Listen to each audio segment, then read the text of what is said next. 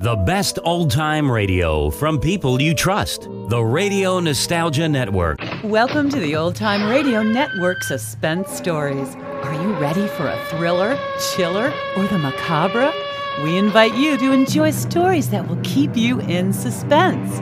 We now go back to the early days of radio and our imaginations with our featured suspense presentation.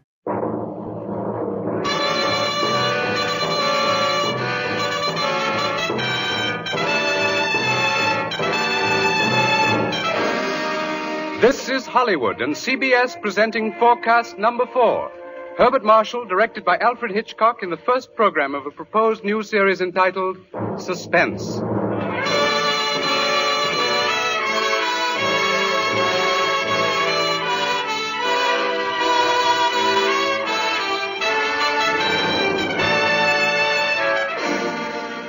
Tonight's forecast program, ladies and gentlemen, represents the ideal form of collaboration.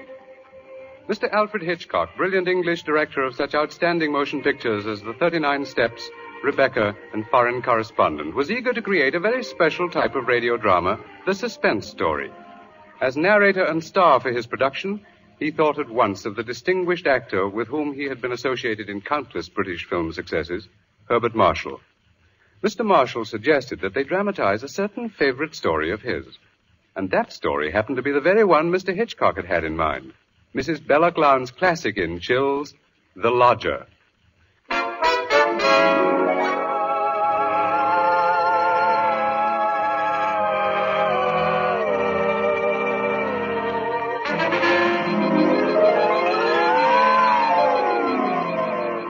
The Lodger is a work of fiction which springs from recorded fact. A story which begins in the year 1888 in London. A London terrorized by the fifth in a succession of recent murders. It was believed that these deeds were the work of one person, a tall, gaunt figure in a black Inverness cape, carrying a small, narrow bag. That meager description, provided by a highly unnerved witness, was the sum total of all that was known of the murderer. It was enough, however, to keep alive and alert the interest of all London, of all those in fine quarters, and all those in small, grimy houses, as, for example, Ellen Bunting. Ellen was no different from all the other middle aged housewives dwelling in the great city's squalid Whitechapel district. She knew all the known facts of the case. As Herbert Marshall will tell you, Ellen knew it was quite proper to refer to this wielder of the knife as the Avenger.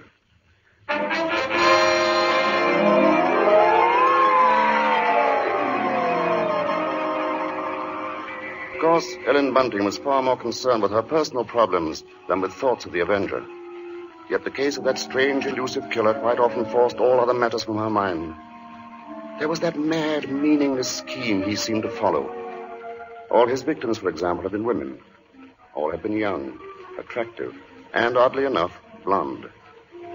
But Ellen could no more understand the motive for his brutal slashings than could the police. This night, she and her husband, Robert Bunting, sat before their fireplace reading the newspaper account of the latest murder. The Avenger had struck again.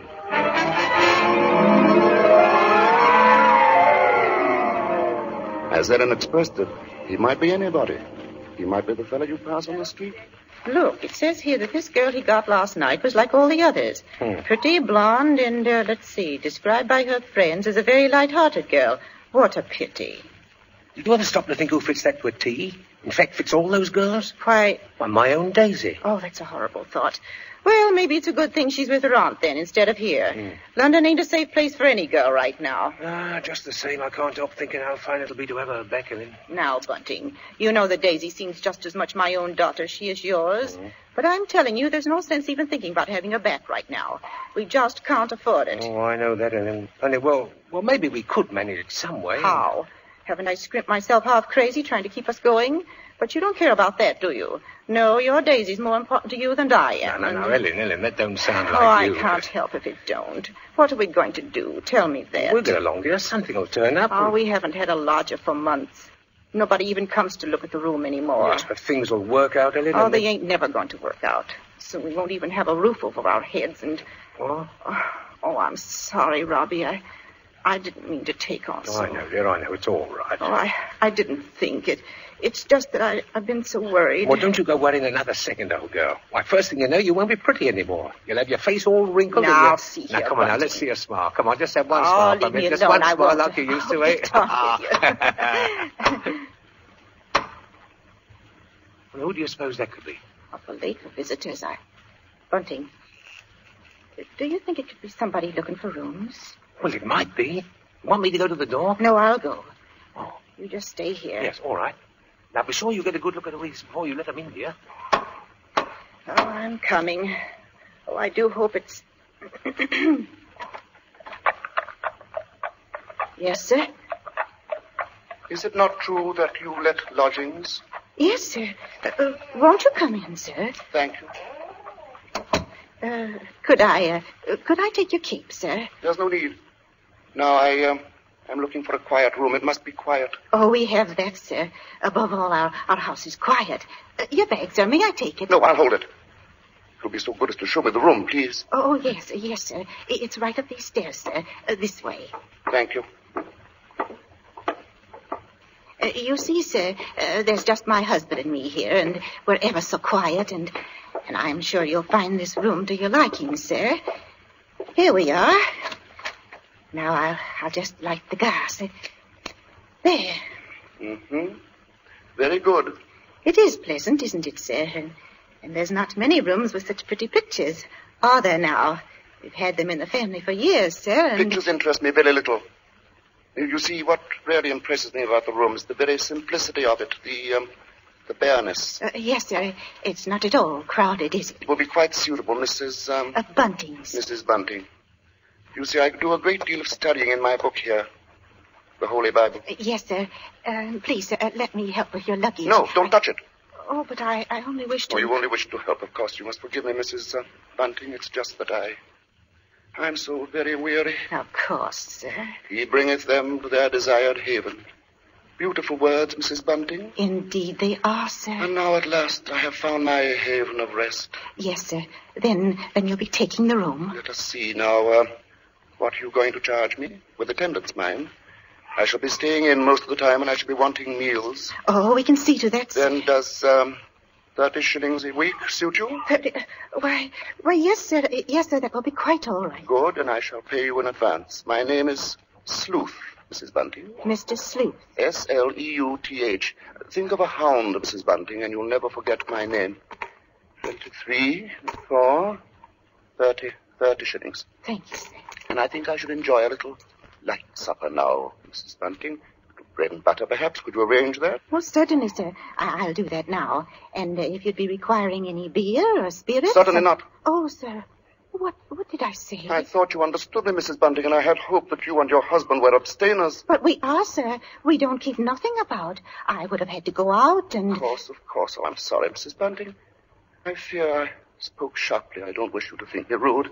After all, you, you've been so kind, considerate. I hope I know a gentleman when I see one. Thank you, thank you very much. Now I'll just hurry with your supper.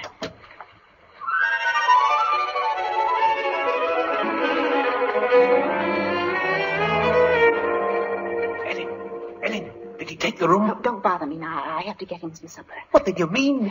Come to the kitchen where he won't hear us. He took it, Ellen? Yes, took the room? Yes, we're all right now. Look, thirty shillings, a week in advance. Oh, it's wonderful, wonderful. And Ellen, do you see what this means? Yes, you can have Daisy now. Yes. Uh, here, Bunting, warm that teapot and put some tea leaves. Righto, righto. Yeah, do you know something, old girl? We're not going to worry too much about Daisy being in danger of that Avenger fella. Whatever do you mean, Robbie? Well, she's not a girl who takes a drink, you know. Uh, what's that to do with it, please? Oh, something I read in the paper while he was upstairs with the gentleman. They just found out that every one of the Avenger's victims had been drinking. They figured he must be some kind of a rabid abstainer. What a peculiar chap. Now hurry, Bunting, please. Yeah. Two thoughts, two thoughts only governed Ellen's mind. The lodger's light supper and her own good fortune at having such a lodger. Mr. Sleuth was an eccentric sort, but then he was such a gentleman, so quiet, so very religiously inclined.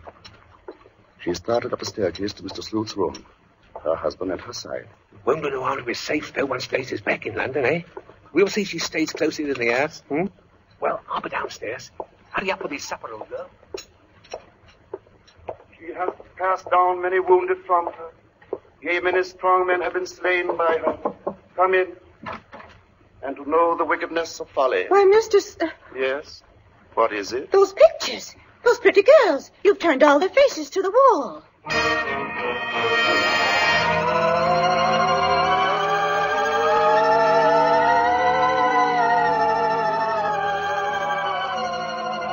And that maneuver, that strange action, was the beginning of Ellen's concern. Soon there came to her a recollection of the Black Inverness Cape, a small, narrow bag, the urgent matter of alcoholic drink. And these details began to shape themselves into a pattern which grew more disturbing with each passing hour. The day following, the lodger did not leave the upstairs room once, nor did he leave the next day. And the oddness of this took its place in the pattern. Then, too, the approaching arrival of Daisy, her stepdaughter, added to her concern. On the second night, her sleep was restless with vague, horrifying images. And so when she heard the first stealthy footsteps outside her bedroom, she was instantly awake. Tensely, she followed those steps down the stairs, down the hallway. She heard the front door open, and then click shut. Utter stillness fell upon the house. And outside the streets were so silent she could hear distinctly the clock from a church tower a mile away told the hour. In her troubled frenzy, she pictured a lone figure plodding through the deep fog, moving quietly, stealthily, stalking, searching, finding. When, soon after she heard the lodger return, she sought to quiet the horrible dread which had possessed her. She assured herself that Daisy's arrival that day was no cause for alarm. Now she reasoned, how could there be anything really evil about so religious a gentleman as Mr. Sleuth? But for her there was no more sleep, merely a tormented state of half-consciousness, a state which suddenly dropped from her shortly after daybreak.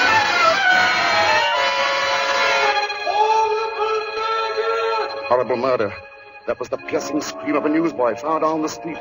The Avenger strikes during night! Ellen Bunting heard the boy cry out the Avenger's latest stroke made during the night.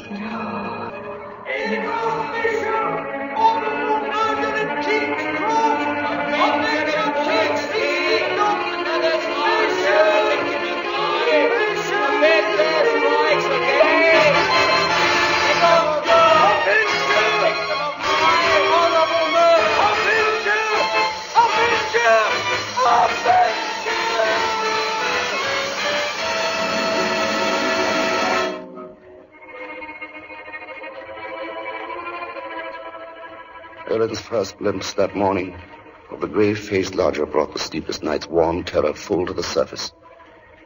But on the next instant, she saw the pitiable, helpless weariness in his eyes, and curiously the terror began to pass. She found that she was hoping desperately that her fears were unfounded. Earlier, she had determined to tell Bunting of the awful convictions in her mind. Now, however, she felt she must be certain, certain before she spoke to a soul. She knew there was one thing she must examine. That was the lodger's single piece of luggage. She'd thought of it often. What could it hold? Not much in the way of clothing, surely. It was too small, too, too narrow. It was more like a case. A case for a knife. It was along toward noon that Ellen found her opportunity to search the lodger's room. Soon after Bunting left to meet Daisy, Mr. Sleuth himself walked from the house.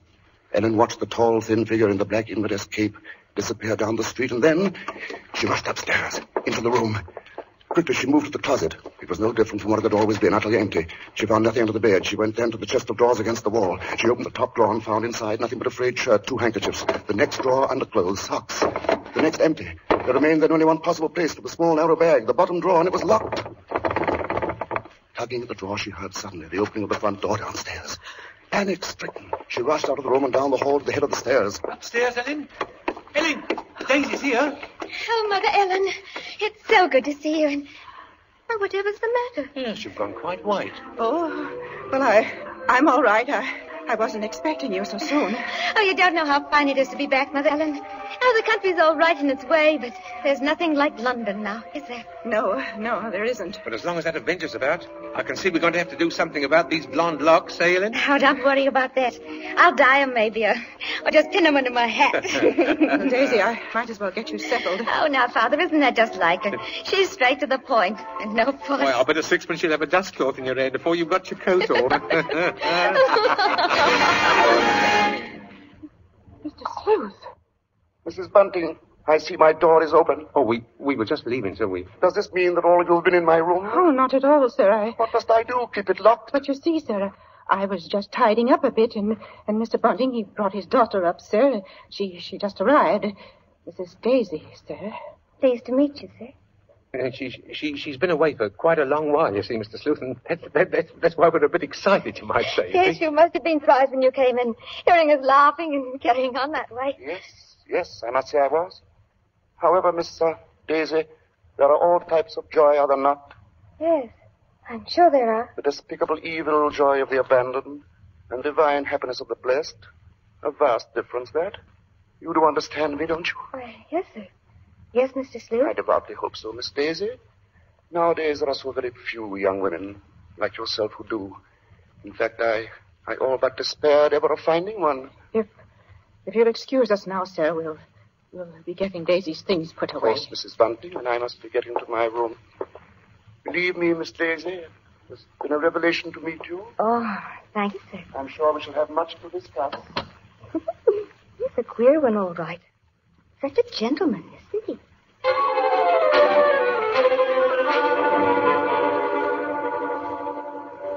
At that moment, Ellen had been determined to pour out her terrible knowledge, and then the moment passed by. She told herself that perhaps the past few days had been nothing more than a grim illusion, a tormenting play of imagination. She would wait then until she had attended the coroner's inquest into the last Avenger murder. There, perhaps, she could hear evidence to disprove all her fears, to assure her there was no earthly harm in Daisy being so near the lodger. This was her gravest concern now, for on the next day, Mr. Sleuth made it a point to see the girl more than once. And fearfully, Ellen saw that Daisy welcomed his visits.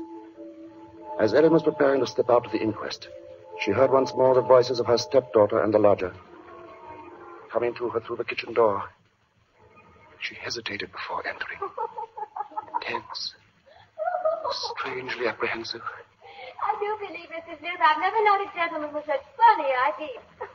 oh, Mother Ellen, you should hear what Mr. Sleuth was just saying. Perhaps, Daisy, you would excuse yourself. And... He thinks people, and especially girls, should spend all their time praying. I sought to explain, Mrs. Bunting, that all women are placed on this earth filled with evil.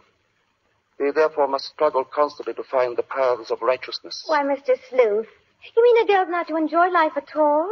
Not to have fun? Frivolity, my child, is the devil's breeding ground, and all his implements are there. Temptation, pleasure, wine. Oh, that's crazy. well, there's nothing I like better than a glass of wine, and I'm not... You drink. She didn't know what she was saying, Mr. Sleuth. Just a child, and Daisy, you'd better go now. I didn't say nothing wrong. What's the harm in a glass of wine? She lieth in wait as for a prey, and increaseth the transgressors among men. Why, I don't know what you mean. I never heard such nonsense. You call Holy Scripture nonsense? So what I prayed against is true. You are beyond salvation. That's not so. I'm a good girl, I am, and I won't have you saying that. Daisy, Daisy, go into the front room. It's quite all right, Mrs. Bunting. I must be going upstairs anyway. I'm used to being misunderstood, you know. People never realize that my efforts are simply for the greater good of humanity, Of course. And that the power on high will direct my hand toward the expulsion of all evil. Daisy, Daisy, listen to me. Yes? I've got to tell you about, about About what, Mother Ellen? nothing. I've got to go out for a while now. I'll be back.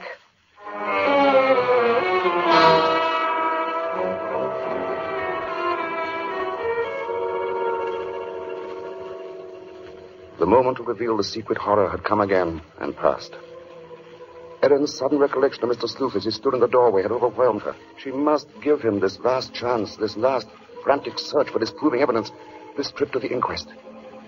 If that chance should fail, she would tell Bunting or the police. So, with the knowledge that Bunting was left in the house to look after Daisy, she boarded the underground train bound for the coroner's court. But as the train pulled away from the station, a new torture came to her, began to mount in her mind. It was the sudden realization that provided Sleuth was the murderer, she was equally responsible for his crimes. She had been giving him protection.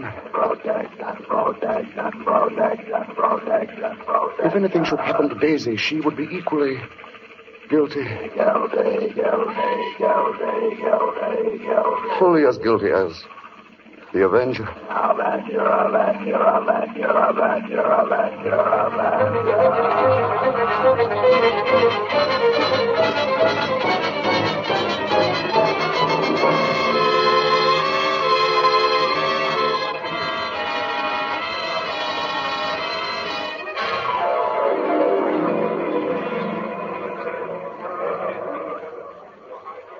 Ellen, seated at the rear of the small but crowded inquest room, listened to each of the witnesses as they were called. And from one of them she found the first hope she had known for many days. This witness lived next to the alley in which the Avenger had committed his crime that night. She had seen him from her window, and the man she described in no way resembled Ellen's lodger. But in another moment, Ellen's hope was swept away. It was pointed out that the fog had been so heavy that night that the witness could not possibly have seen the murderer from her window. She left the stand, replaced by a Mr. Cannett. This elderly gentleman was certain that he had not only seen, but talked with the Avenger. It was in Regent's Park, he testified, only a few moments before... A few moments before the murder, Mr. Coroner, when I saw him. He was quite a tall man, very gaunt-looking, and carrying a handbag. A handbag, you say? Yes, a small, narrow one. Just such a bag, I might add, as might contain a knife. As Ellen heard these words, the tension which had been mounting up within her became almost unbearable. Rigid with horror, she gripped the arms of her chair. She heard the coroner. I shall have to ask for more order in the court. And now, Mr. Cannett, I understand you heard this man speak. Oh, yes. He had a rather high, hesitating voice. An educated man, I would judge, but quite mad. What do you mean by that? Well, as he emerged from the fog, he was talking aloud to himself. Believe me, sir, he was reciting scriptures from the Bible.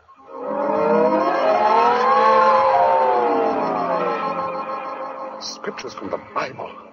Horrified, Ellen rose from her seat, only half hearing the confusion about her.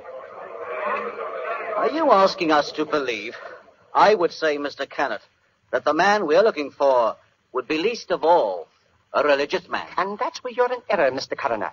The religious note is the very key to the case. Very interesting. That'll be all, Mr. Cannett. Uh, just a moment, sir. Don't you understand? The man you're after must be a religious maniac. That's the only explanation possible. You will please stand down. The court was dismissing the very truth. Ellen knew that now. She would no longer keep silent. Her hand shot forth and she screamed. I, I want to say. Ellen Bunting, on the verge of speaking, had fainted. And then, when she was revived a few moments later, she said nothing. Her brain was in too great a turmoil, her nerves too shocked. Like one in a dream, she allowed herself to be led from the courtroom. The voices of spectators were only vague sounds to her. She was going to say something. Yes, it was hysterics. Eh? Yeah, that bit about the knife. Yeah, the knife. The knife. The knife. As Ellen Bunting proceeded homeward, the remarks from the spectators remained in her mind. She heard them over and over. Say, yeah, that bit about the knife. The knife. And just such a bag as might contain a knife. We'll see she stays closer than the house, eh? No harm in being safe. Direct my hand toward the expulsion of all evil. Expulsion of all evil. What's the harm in a glass of wine? I didn't say nothing wrong. As Ellen neared her neighborhood, her dread increased. With each moving footstep, the grip of terror grew tighter, tighter about her. She moved faster, faster. If only she were in time. She was two streets away from the house. Then one. Then. Then she saw Bunting. Sharply, like the thrust of a knife, she realized what this meant. Daisy was left alone with the lodger. Bunting! Bunting! Yes, Ellen, what is it? Oh, Bunting, tell me, Bunting. Where's Daisy? Where is she? I say, where? Why, home. Oh, listen to me. Try to understand. Sleuth is the Avenger. What are you saying? Our lodger. He's the Avenger, Bunting. Oh, but there's no time for that. Daisy's in danger. Hurry! Hurry! Yes. Daisy! Daisy!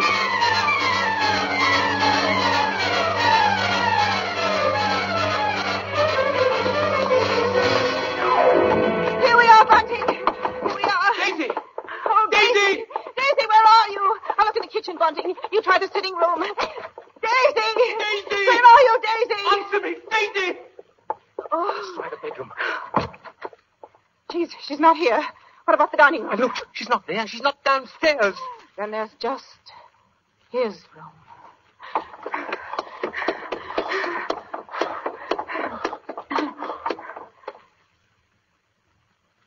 Go on. Open the door.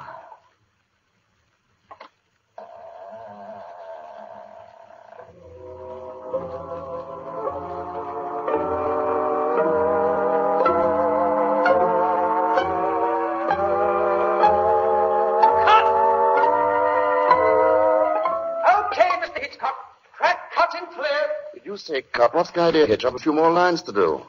As Mr. Marshall, the narrator, you have. Not as Mr. Sleuth, the lodger. Hitch, you can't stop the play right here. It isn't fair, you know. Why isn't it, Bart? What more is there to say? But Mr. Hitchcock, won't people want to know what Bunting and me found in the room? All right, Ellen. What precisely did you find? Well, uh, nothing, sir. There. You see? Nothing. No lodger, no Bible. And that locked dresser drawer. What about that? We unlocked it, sir. And what was in it? Nothing, sir. You are certain, Mrs. Bunting? Oh, oh, you gave me quite a turn, Mr. Slew. I mean, Mr. Marshall. Uh, Yes, sir, I'm sure, sir. There was nothing. Well, begging your pardon, Mr. Hitchcock, but don't you think we'd better just mention about Daisy? I don't know, Bunting. What do you think we ought to say? Oh, just that the reason she wasn't in the house when Ellen and me got there was, well, she'd gone out for a walk, that's all. Did she enjoy it? Oh, very much, sir. Made it to King's Cross and back in just under an hour, sir. Splendid time, Bunting. Well, there you are, Bart. There's the story. Now, wait a minute, Mr. Hitchcock. You can't do that. That's not the story. Of course it's not. Now, look here, Hitch. Here's the fellow who composed and conducted all our music, Wilbur Hatch. He wants to know about this, too. Everybody does. All right, Bart. What is it they want to know? What became of Mr. Sleuth? Oh, him. Why, he left that afternoon. They never saw him again. And now I think we ought to say something about the Columbia Mr. forecast show Hitchcock, for... sir, will you please... Stop him, Mr. Marshall. Hitch, listen to me. Yes? What is it? They want to know when the Avenger finally was caught.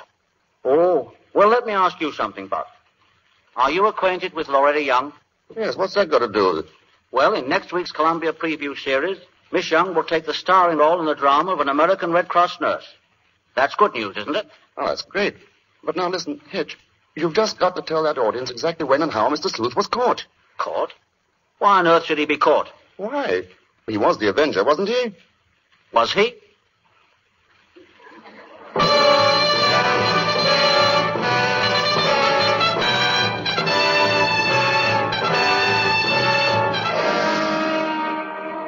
Your guess, gentle listener, is as good as ours. Even Mrs. Belloc Lowndes, who wrote the novel, isn't entirely sure. For his masterful direction, our thanks to Alfred Hitchcock, whose latest pictures are David O. Selznick's Rebecca and Walter Wanger's Foreign Correspondent. For his superb characterization of Mr. Sleuth, our thanks to Herbert Marshall. And our thanks to the outstanding British character actor who tonight portrayed the role of Bunting, Edmund Gwenn. If you liked tonight's program and want to hear more in the same highly original Hitchcock vein, radio versions of The Lady Vanishes and The 39 Steps, for example, write to CBS and tell us so. Your interest will help bring suspense to the air as a weekly feature.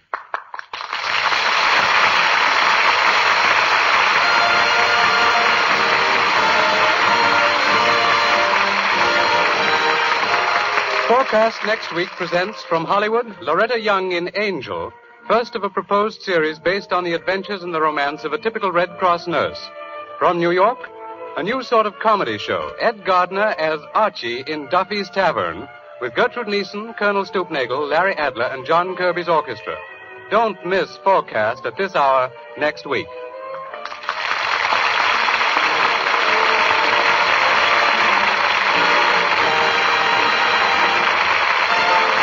Thomas P. Benson speaking. This is the Columbia Broadcasting System.